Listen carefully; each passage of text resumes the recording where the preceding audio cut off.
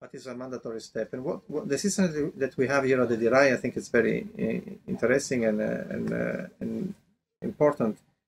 We have under the same roof uh, all the levels of research, from, from bench to small animal models, uh, large animal models, and clinical uh, actually care and, and research.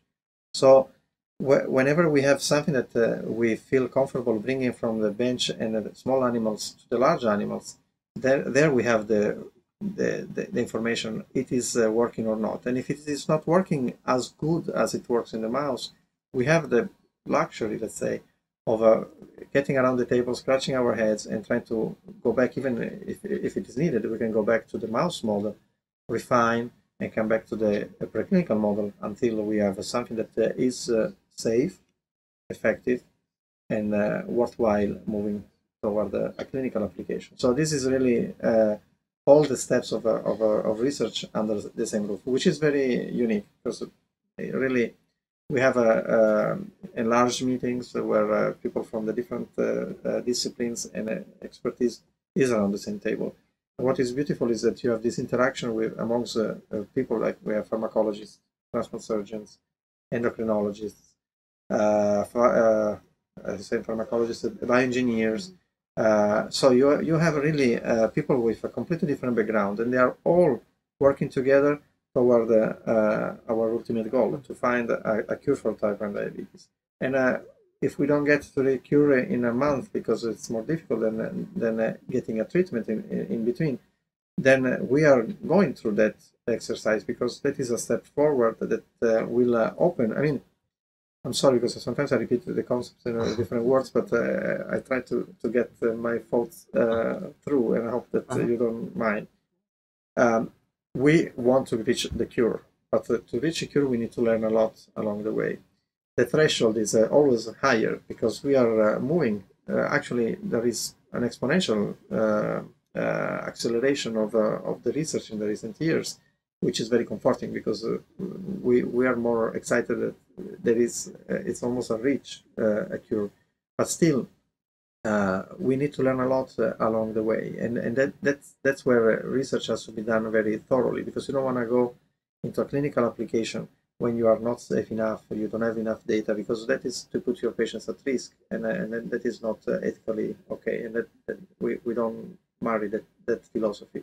Our philosophy is to really do the right steps to, to get uh, uh, validating data that is uh, feasible, that is safe, and that there is an effect that we can measure. If we can measure that effect, then we can tune up the system and get better and better. And this has been uh, really the story of, uh, of our uh, of our team at, at all levels. But don't let me talk. Just ask me a question. Maybe it's better because we can have a better interaction. I can. Yeah. Um, what are you working on right now? We, uh, my team is uh, is working on um, several projects. Uh, the main line of research is uh, always uh, beta cell replacement, and uh, there are two. If we really want to simplify to, to, to the bone, which are the, the critical limitation of beta cell replacement as of today, there are two major limitations: beta cell mass, meaning how many functional beta cells we have available, and immu immunity uh, type 1 diabetes is a result of uh, an autoimmune process. So we need to deal with that. Now, if the beta cell mass, which is the other, the, the two things that we have to balance, the, if uh, beta cell mass is uh, um, can be replaced by transplanting the cells, then we are adding complexity to the immunity component because we have autoimmunity and we will have also rejection. Now, if you are bringing in also tissues that come from uh, animals, so xenotransplantation, then the rejection component is even uh, more complex. So we have a, uh, we have to deal with, with those two components. So if you're thinking inter, uh, uh, on interventions um, early enough at the time of uh, diabetes onset, for example, well, if we are quick enough in in restoring self-tolerance with a, a, powerful but safe immune intervention, we might be better off because we can preserve the beta cells that are still in the pancreas and uh, prevent them from being destroyed by the uh, progressive uh, autoimmunity that is going on.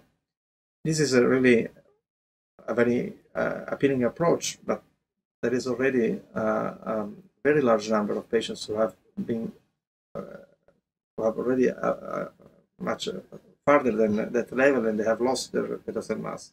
So for those patients, we need to come up with uh, a beta cell replacement therapy that is uh, uh, coming probably from other sources. And uh, and right now we are looking at different ways. One is the cadaveric donor islets, which, is what is available right now, and this is what we are transplanting into the liver in, in our patients at the present time.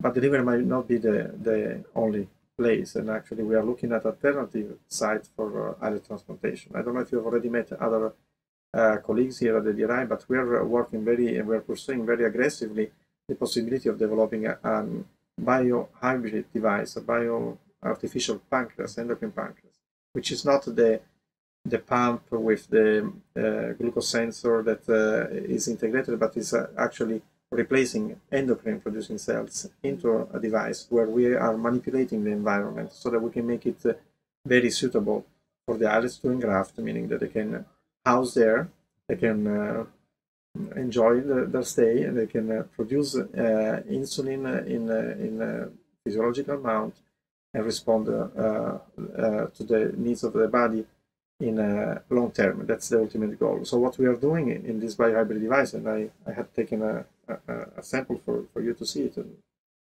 I have two. Because you have two.